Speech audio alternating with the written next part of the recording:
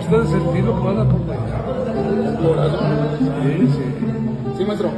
Porque la prisa, cualquier cabrón toca prisa. Porque piensan que es más alegre que no es cierto. Más, más sentido. Sí.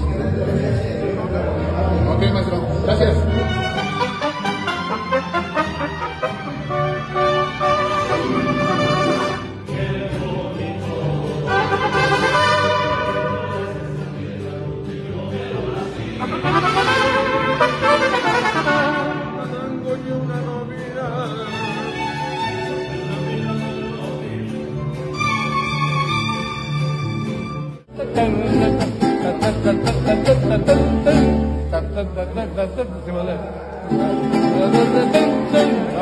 Para que le cantes.